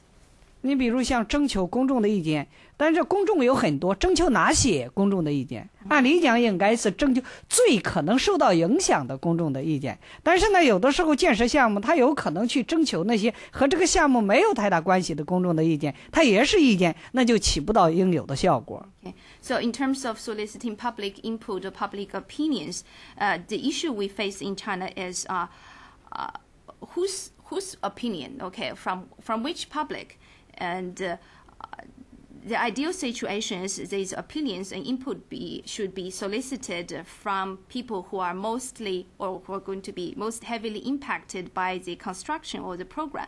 But actually, in, in real practice, and uh, some irrelevant opinions are are uh, are collected. 还有呢，就是征求了公众意见，那你对公众的意见是应该怎么来反映？ 就说你如果不采纳公众的意见，你是不是要做做出一种什么样的解释才算合理的解释？所以这里边呢也缺乏规定。Okay, so in uh, in another area, which is uh, how to uh, take public opinions and how to make use of it, and or whether to make use of it, there should be explanation on whether or not to use this public input, and there should be clear explanation uh, in, in this aspect. But in, unfortunately, we don't see that much uh, uh, regulations or, or clear guidance in this area. 现在呢，我们正在跟环保部的政研中心合作，来修改这个环呃公众参与环境影响评价办法，准备把它变成一个公众参与环境影响呃公众参与环境保护办法。这样呢，可能参与规定的它的涵盖的范围就更广一些。Okay. Currently, our center is working with the policy research Office of the Environmental Protection uh, Ministry uh, to revise the provisional measures for uh, uh, for public participation or civic engagement in environmental impact assessment. Thank you. Okay. As I said, his fingerprints are all over. I had another question right here, gentleman there. Make sure that little switch at the bottom's on. Good. Uh, Sean Linett from the George Washington University. Uh, Professor Wong mentioned an anecdote in which citizens could only attain information from the EPB after a sustained and significant effort. And also, Professor Li Yanfang mentioned that there is still a problem with the APB, uh, um, the, the EPB, failing to give information to citizens requesting it. So my question is, what is the typical result? Can citizens generally expect success when requesting information, or are they usually turned away? 好的，我是来自于乔治华盛顿大学。刚才王教授提到了，就是啊环保部，呃，然后呢公民呢向环保部就是申请需要就是信息公开，而且李教授也提到了，就是环保部，就很多时候呢环保部是驳回了公民这个申请，驳回了公民就是环境信息公开的这个申请。那我的问题是，就是说一般公民提出这样申请的时候，那么典型的结果一般是会什么样子？是不是要经过就是说无数的，就是说长期的努力，最终才能获得成功？呃，这个我来回答吧。这个其实呢，我刚才是讲了一个典型的例子，就是那个呢，就是呃比较困难，所以才需要行政复议，才需要诉讼，而且呢涉及到一个特别大的企业，比如像宝钢那那个企业就特别大。但是呢，如果是申请一般的信息，比如像政府的信息，这样呢还是比较容易得到的。嗯。The case that I share with you is actually a typical case, and also it's a very, very difficult case that involves a big enterprise. Uh, but when it comes to uh, ordinary information, okay, uh, for government, open government information, uh, that's a lot easier to obtain. 因为刚才那个呃讲的那个案例的那个信息为什么难得到呢？还涉及到是什么法律规定的不清楚。比如像企业提交给政府审批的这个环境影响报告书，是属于政府的信息，还是属于企业的信息？这个呢没有明确的界定。嗯哼。And also, the reason that I share this difficult case with you is because, uh, in terms of the report, the environmental impact report the citizen is seeking, and there's a lot of uh, uh, opaque or very uh, unclear specific, not so clear specifications in terms of who actually has the ownership of the report. Is it the government or the enterprise? If the report is submitted to the government by the enterprise, after that, who has the ownership of the report? and there's no clear specification uh, uh, legislatively. 呃，一般的情况下，你要让他公开他们的处罚的决定，或者是他们做出来的一些那个呃法律法规，这都是比较容易的。Usually, it's quite easy to uh, obtain, say, for example, uh, punishment measures or penalties and or, or related rules and regulations. These are a lot easy to obtain. 现在我觉得是要申请信息公开最难的是让他公开企业的污染的信息，这个是比较困难的。But I think, in my view, the most difficult uh, information to obtain is actually the pollution information. Uh, of the enterprise. 因为国家现在还没有强制企业来公开环境信息的很具体的规定，而仅仅是在清洁生产法当中规定了要。对于超标排污的企业，可以强制公开他们的环境信息；但是对于一般的企业，国家没有规定强制公开。Okay.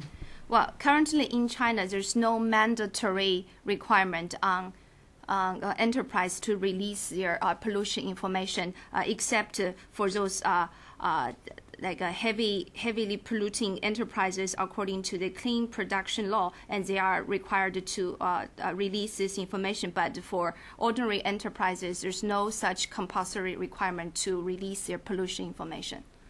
Okay, I think Judy Shapiro here's a question. Can you give the mic? Okay, just pass it down. Thank you so much.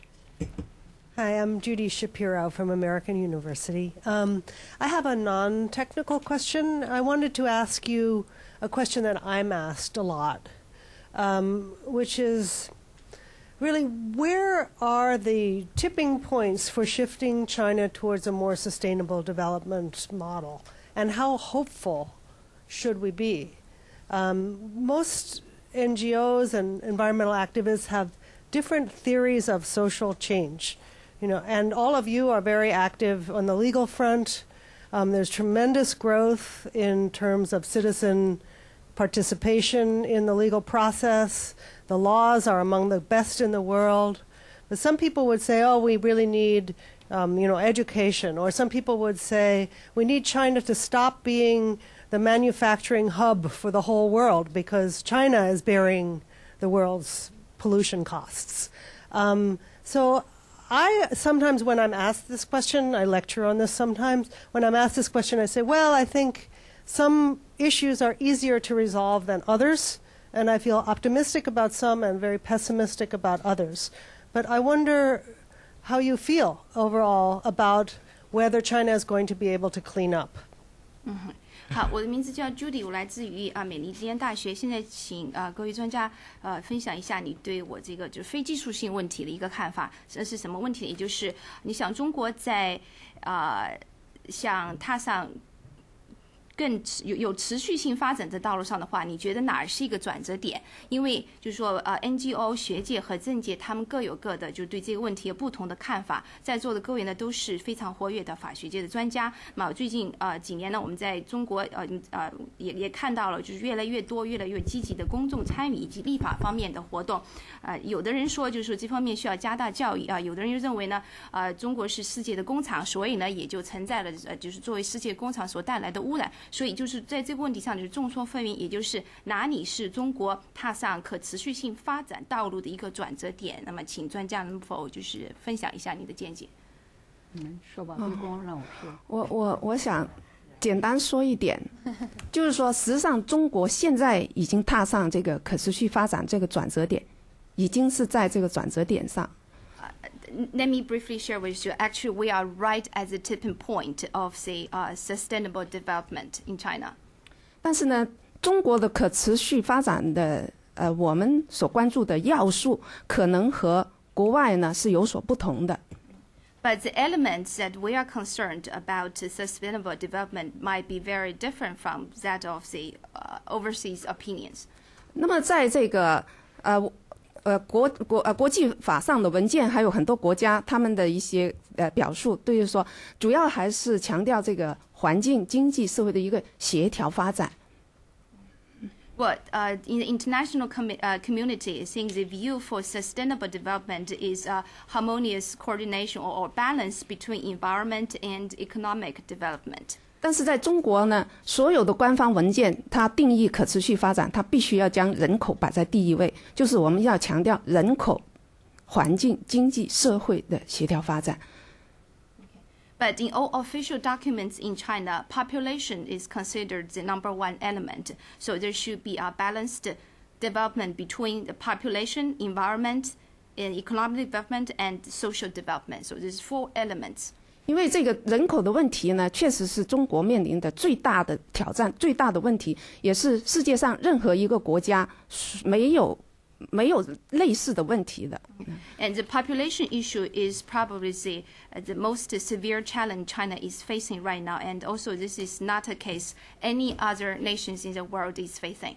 啊，所以呢，没有一定的经济发展作为基础的话，那么我们呢，就是说，实际上也也确确实实是那个作为一种，啊，采取一种呢，这个更为关注环境啊，就更协调发展的这种可能性呢是非常小，而中国现在应该说已经也已经具备了这种基础。Okay, so without a a certain without uh, a good foundation and uh, and a certain economic development, it's unlikely in China that a lot of attentions will be paid to the environment. And currently, I think China uh, is it's right at the point that such economic development foundation is is forming. 那么现在呢，这个呃，我们可以看到呢，中国呢，这个 政府的投资已经是啊，接近一半以上是在与环境有关的投资上面了，包括环境建设、基础设施建设、环境的呃治理啊等等这些方面。Okay, as we see that uh, almost half of the government investment has to do with uh, environment, different aspects of it. For example, infrastructure and environmental cleaning up or uh, pollution prevention. 那么在这个西部开发这方面呢，那么就是说在落后地区开发这方面来说呢，啊，环境的考虑呢，实际上呢也是说日益得到重视。但是呢，就是说我们能不能真是呃，能够那么好的落实这个呃以房为主的这样的一种发展模式呢，也不是很容易做到。但是呢，至少呢，我们现在的这样的一种考虑，这样的一种视角是有的。OK Well, in terms of developing the western regions of China, uh, proper concerns should be paid to environmental protection. And, but at the same time, I have to say that it is not easy to do prevention first. Uh, to put the focus uh, primarily on prevention, but at least we are looking at it from this perspective. 然后呢，这个实际上这个公众呢对于环境质量的要求呢，已经成为他们的这个呃，就是说是生活质量的 这个最重最重要的部分之一了。所以呢，就是说这里头也实际上也是促使了政府呢转型，就是说它在经济发展模式转型。So, from the public perspective, environmental quality, the public's requirement for environmental quality has become one of the most important element in their overall uh, livelihood quality. So, this is actually a good uh, motivation, uh, uh, the important driving force for government to to transition to uh, in more environmental protection. That's good comment there. Hard question. Of course, she's a Well, I- professor. I- they do I that. will- I- I- oh, yeah, 补充.我想- Okay, you got some more. Good. Okay, we got more answers. 就是中国现在存在着非常严重的污染，呃，最主要的原因其实政府已经找到，就是说我们的传统的发展方式是，呃，高消耗、高排放、高污染、 低产出，我们叫做三高一低啊。那么这种经济发展模式呢，也是一种比较粗放的发展模式。 as you say, China is facing severe environmental pollution, and uh, I believe we believe we found the uh, the, the cause, and that's it's which is a traditional uh, production mode, uh, which has three high and one low, and high energy consuming, uh, high energy consumption, and high pollution, and uh, and so low uh, productivity. 那么在生活方式领域呢，就是我们呃中国改革开放以后学习了西方的人们的生产呃这个呃生活的消费的方式，那么就是一次性消费啊呃等等的生活方式，这个对企业对公民来说，那么都造成了严重的环境污染和资源的浪费。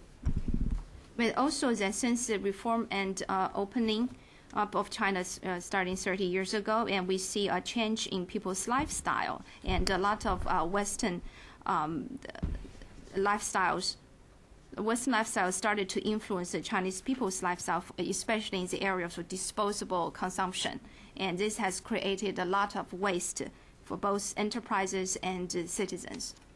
所以呢，就是要解决这个呃粗放型的生产方式 和消费模式。我们现在呢，呃，政府通过一系列的举措，希望能够转到集约式的生产方式和消费方式。So, in order to transition from this uh, traditional production and uh, consumption, uh, we are looking at a more effective and more efficient 补充一点。uh, production and uh, 啊、uh, consumption. 那么就是要低投入、低排放、低消耗、高产出。So we're going to do the uh, reverse. This is a low investment and low uh, low consumption and low uh, uh, pollution and high productivity. 嗯，那么让公众转变消费方式，那么提倡节约，建立节约型社会。 Yeah, we need to advocate uh, uh, conservation. And uh, this is also education on the public as well. Advocate more education and uh, to build um, uh, energy saving society. 所以我们现在有科学发展观和建立资源节约型、环境友好型社会。那么这个目标呢，就是要扭转中国目前严重的环境的污染和资源的浪费。 So the goal for uh, Chinese society is to uh, to build uh, effective and scientific consumption pattern. At the same time, uh, strive harder for, for energy conservation. 嗯，在立法上，我们通过清洁生产法、循环经济法、啊、可再生能源法、节约能源法 等推动中国可持续社会的形成。 Okay, from the legislative perspective, we also have uh, uh, a number of uh, legislations such as uh, uh, uh, clean production law and renewable energy law and energy consumption law and others to provide uh, legislative protection framework for for our uh, overall societal goal. 哎，我来补充一点，就是我呃刚才这位那个教授提的，就是中国可持续发展的转折点在哪？我认为呢，这个转折点发生在二零零五年。 Okay. Well, may I add my opinion? Uh, in terms of the tipping point uh, for China's sustainable development, I personally think that already took place in 为什么？ 2005. 为什么这么说呢？呃，你们可以呃可以告诉，在二零零五年的时候，国务院通过了一个决定，叫《关于落实科学发展观、加强环境保护的决定》。Well, in 2005, uh, State Council issued uh, a decision. Uh, this is a decision on scientific development and uh, strengthening environmental protection. 在这个决定当中，把呃已经用了三十年的环境保护与经济发展相协调，改变成了经济发展与环境保护相协调。 Okay. So in this decision, there is a transition. Okay, uh, for the previous 30 years, environment protection is considered uh, supplementary to economic development. But in this decision, the order is just reversed. So environmental protection uh, is considered, or the, the economic development should have environmental protection as its focus. 而且在这个文件当中，第一次提出来，在一些需要特别保护的地区实行环境优先。 Okay. Well, I, I I also uh, noticed that uh, for the first time in history, in this de- State Council decision, uh, it states that in certain areas uh, that needs protection, environment should be given the priority. 所以在这个文件颁布以后，共产党的第十七大就明确提出了要建设生态文明社会。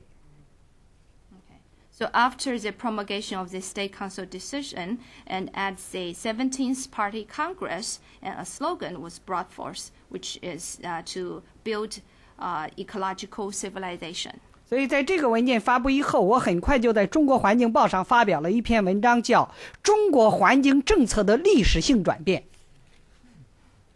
So right after this, and I uh, published uh, an article in the uh, China Environmental newspaper, and the article is titled "The Historical Transition in uh, Environmental China Environmental Legislation." 本来这个转变呢，应该就是要淘汰一些落后的经济方式和生产方式，应该很顺利的就进行下来。但是在二零零八年，从美国开始发生的一场经济危机的风暴——金融风暴，打断了这一个进程。Okay. 我 ideally, Blaming us, huh? ideally, so if we ride this momentum of this legislation and decisions, and we are well on our way to to reform and to modernize our uh, traditional uh, our traditional economic uh, uh, production or consumption, but it was interrupted by the financial crisis that started in the United States in 2008. 所以，如果不是这场金融风暴啊，中国的这个环境保护的，就是可持续发展的转型啊，肯定就是要比现在要提前几年，现在呢就要推后几年。 Okay. Well, if it had not been the financial crisis that first emerged in the United States, and I believe that our transition in China would have been advanced several years more. Okay, we're gonna um, over here, and then we'll, bow, we'll we'll I'll gather two two questions real quick, and then we'll have them answered together. Okay, it should be on. I want to say I, my great apologies for the U.S. financial crisis. it will hurt the world if it hurts China's development in this direction. My question is different. Um, in order to really transform the country towards uh, environmental conservation, you need to weave that into national identity. Conservation of the countryside should be part of patriotism. And I wonder if there's any sign that that will happen in China soon. OK，那好，就提呃谈到就是中国社会正在向一个环保就是节能的这个社会转变。那么啊、是否这个应该和就是国民的这样一个就是说身份地位或者是国民的这个意识连接起来？比如说是农村地区的环保，那么能否是成为就是说是爱国主义的一个部分？比如说就是怎样把环保节能和这个国民的这个意识或者是爱国主义的意识能够融入进去？等一下，我手机还有一个问题。Can and ask have her ask one more question. My, name is, is Isabella Chen. I work for U, U.S. China Business and Culture Exchange Center. Um, uh, I have a question about uh, law enf- enforcement education in China for the very uh, average individuals in China. Uh, I grew up in China and now I live in the United States. According to my observation, I think uh, many Chinese people still have some misconception, such as like, like they think the uh, government is not separated with the court. So it's hard for if they have this kind of com- uh, conception. It's hard for them to like want to uh, uh, bring a bring case to the court to sue the government. Uh, I want to know um, how much actions have taken for for educate the uh, uh, the average Chinese citizens so they can know they can use the law to protect them themselves in terms of the environmental issues. Thank you. 啊、我的问题是，就是呃，对于就是中国普通公民的一个执法教育问题，我因为我在中国生长啊，现在在美国工作，但是呢，就是历来的话，中国公民的话，很多呃，他们中很多人呢都有一些错误认识，就以为政府和法庭是一家的，是不分的，所以呢，就是这样的错误认识就导致了他们不能有效的利用其法律保护自己的利益。那么就是请各位专家能否呃讲述一下是啊、中国现在在就是公民的这个执法教育方面，就是公民的这个法治教育方面的话，有一些什么样的这个举动，能让公民更好的、更有力的利用其法律来保护自己的利益？就是关于这个呃呃呃农村的居民的节能和爱国主义的问题。那么在中国呢，我们以前有两大国策，第一大国策是计划生育，第二大国策是环境保护。现在我们增加了第三大国策，就是节约自然资源。嗯哼。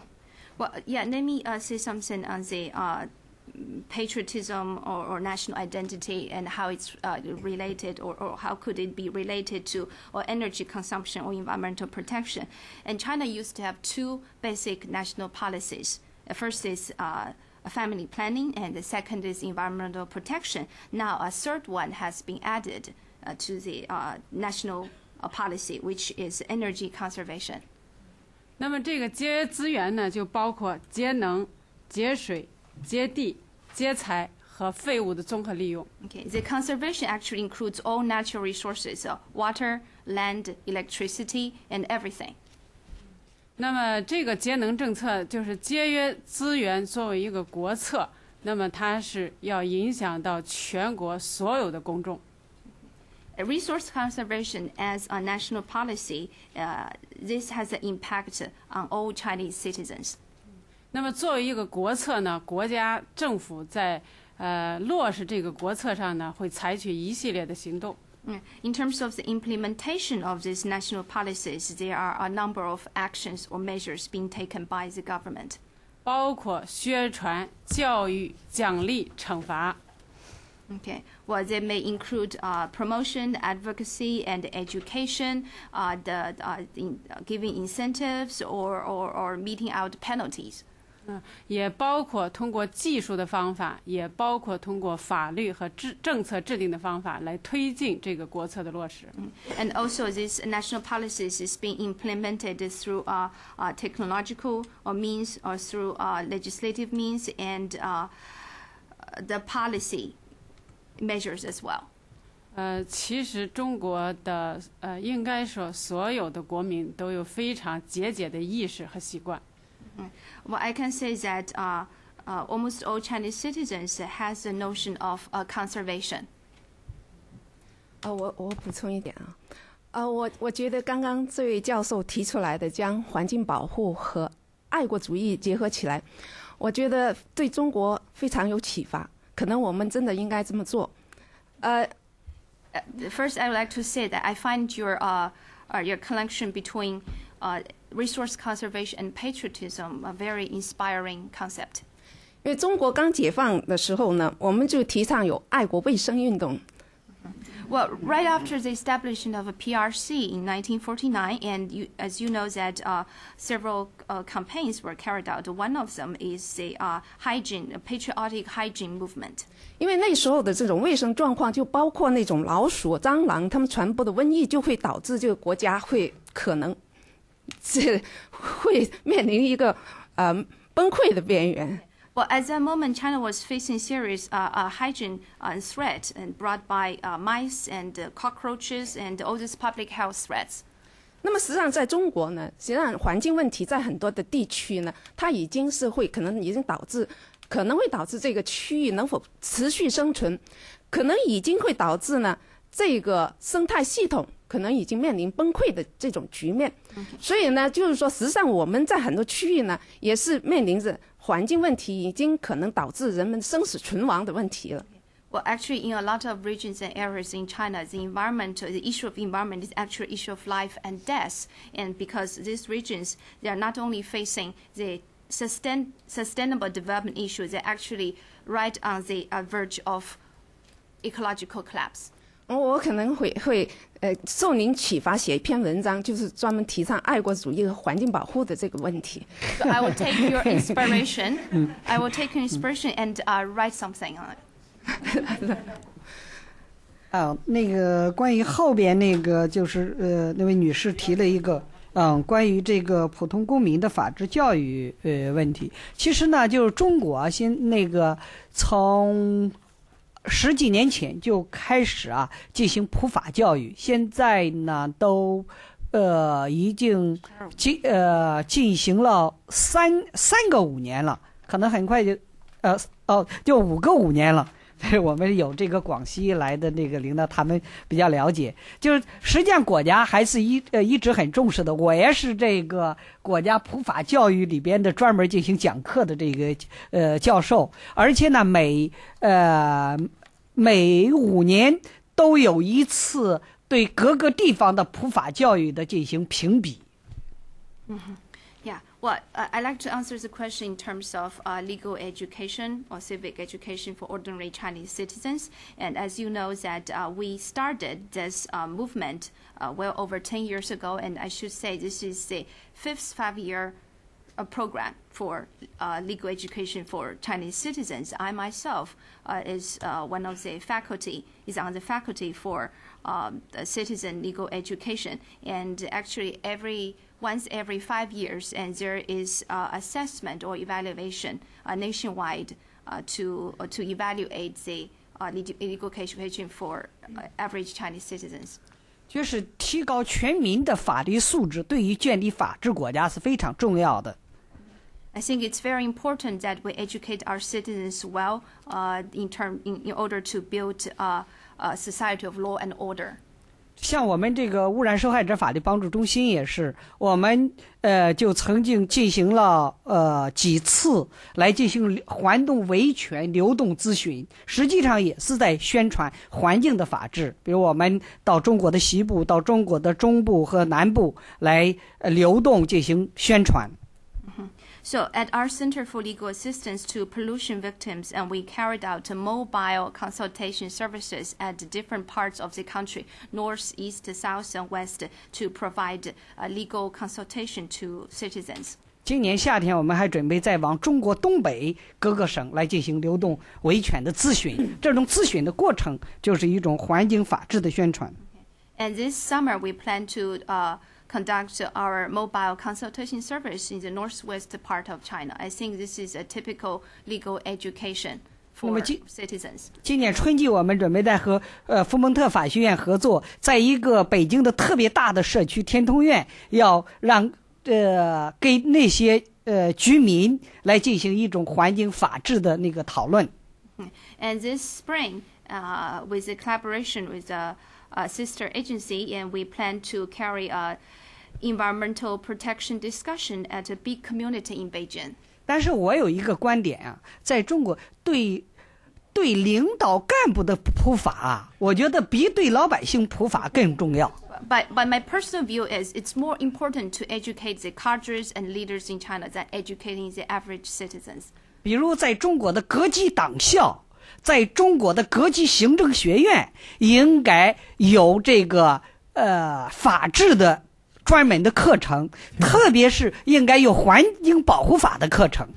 I, I think that at, at different levels of party schools in China and also uh, different administrative colleges in China, there should be uh, uh, legal uh, courses in their curriculum, especially environmental law courses in their curriculum. 因为一个领导干部说法治重要，比一千名普通的老百姓说法治呃重要更能发挥作用。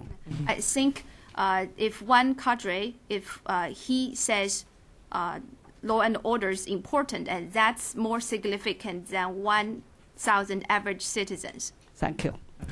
我我补充王教授的呃这个问题的一点，就是我们国家前几个呃普法前几个五年的普法呢，主要侧重于民商事行政这些法律的普法教育。那么新一个五年呢，我们的普法呢已经注意到对环境的普法教育。Okay. Well, may I add, so in our uh, uh, five-year legal education planning, and the, the previous one uh, had a focus on, on civic and the commercial and administrative law. But in our future planning, it will put focus more and more on environmental education. 目前司法部正在组织编写。呃，新一个五年普法的教材，我们正在呃，我们呃，这个司法部正在委托我们人民大学法学院普呃这个编写，呃两本环境法的 呃普法教育的教材，一个呢就是针对领导干部的环境法的普法教材，一个是针对企业的环境法的普法教材。 Well, actually, the Chinese Justice Department has uh, commissioned our university to uh, to write two textbooks for legal education. And one textbook, uh, these these two textbooks are both on environmental law. One is specifically for for leadership or cadre, and the other is uh, for enterprise. 那么就是国家的司法部门认识到了企业领导和这个政府的管理部门的领导，那么他们的环境意识的提高，可能会有力的推动中国 uh, 环境保护事业的发展。Okay, so that's that's because it's, the reason Justice Department uh, commissioned us to write this textbook is because they realized that if enterprises or local cultures and government leaders, if they have they are fully educated on the importance of environmental protection, and that's going to be very helpful in this uh, uh in this endeavor. Okay, we're going to close out Anna Brettell, who I know for your dissertation you actually talked to Wang Canfa a lot years ago. So you, you get to close us out with the question there, Anna. I'm just curious about the weight given to environmental protection in cadre evaluation systems. Has this weight changed, especially since 2007? I think when they incorporated um, assessment of progress or if local cadres met their targets for sulfur dioxide reduction and COD reduction. Mm-hmm. So, if there's any other, are there other factors that are included in the cadre evaluation systems related to environmental protection? And has the weight given to environmental protection increased in cadre, in cadre evaluations? OK，好，我想知道就是对于地方政府呃地方政府官员政绩考核上的话，就是对这个环境保护，就是这方面的话有没有进一步的这个加强？比如说就是从二零零七年有没有什么进一步进展？那么有没有把具体这个指标落实到呃地方官员政绩考核的这个评估里头？比如说要减排多少二氧化硫啊，或者 COD 的这个减排有多少啊这些？那么这方面就是环境方面，在整个政绩考核当中的话，它有没有一个就是说逐渐就是啊、加强的一个趋势？嗯，这个我来说一下。那个呃安娜是是我的老朋友，然后呢，她在几年呃几年前就在我们中心还做过这个志愿者。Anna is our old friend, and she served as volunteers at our center several years ago. 她对中国问题非常嗯、了解，实际上提的这个问题，他自己可能也知道。Well, she's very savvy. She's very savvy about uh, the circumstances in China. I believe she already knows the answers to her question. 嗯，那个实际上呢，就是中国呢，那个原来呀、对地方政府的政绩考核没有纳入这个环境保护的指标，所以呢，使得各级地方政府都特别重视 GDP，然后不太重视这个 COD。 Okay. So uh, th- this was the case before. So local government and their uh, or local cadre, their performance evaluation uh, did not include environmental protection or any elements related to that, and the primary focus is just on GDP. 呃，近 the case. 近年来，特别是就是我说的二零零五年那个国务院的那个文件颁发了以后啊，呃，确实，呃，国家的政策在进行呃重大的转变。这种转变表现在就是在对地方政府考核的指标当中纳入了环境保护的指标。Okay. So since 2005, since the issuance of the State Council decision on the uh, uh, transition, and the environmental protection element has been incorporated into the local cadre or local government performance evaluation. 呃呃，特别是在二零零八年的这个水污染防治法修修订，呃，第一次把这个对政府政绩考核的这呃地方人民政府对环境质量负责， 呃，作为政府的呃政绩考核的一个指标之一，在法律当中明确做了规定。 Okay. So, especially in 2008, in the revision of the uh, water pollution prevention law, uh, it was uh, the the environmental protection requirement is uh, stipulated very clearly in uh, in this law, and that's incorporated into the local gov- uh, local government local cadre uh, evaluation. 那么今年呢，国家已经把修改环境保护法纳入了立法计划。而前几天我们在讨论这个立法应该重点考虑什么，其中的重要一个方面就是加强对地方政府环境保护目标实现能力的考核。So this year, uh, the government is going to revise the environmental protection law, and I think our primary focus is to strengthen strengthen the uh, capacity of of the local government to realize those environmental protection goals. 实际上呢，就是说从最近呃一些就是国家的文件、政府的包括呃党的一些文件都可以看到，中国对 GDP 不是非常强调了，它不像以前强调的那么重要了。 Okay, so actually, in a lot of recent uh, official documents from the party or from the government, you notice a subtle change in terms of the weight put on GDP. It used to be the sole focus or primary focus, but now it has um, it has subsided a little bit.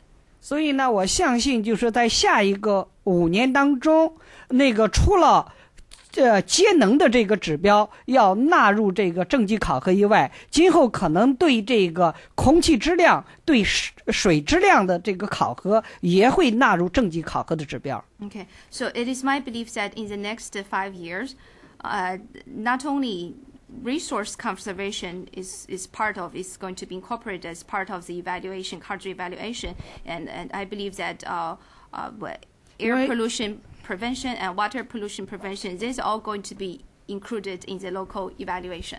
因为安娜女士的那个中文非常好，你可以经常注意一下中国的这方面的这个呃内容。 I know An- Miss Anna is very fluent. Uh, her Chinese is ve- very fluent, so she definitely is well read in this area. Okay, well, you can see that um, Wang Canfa is among lots of friends here, and uh, now a lot of new friends. Um, I want to thank, uh, I'd like to invite all of us to give applause to our four lawyers here who gave great responses.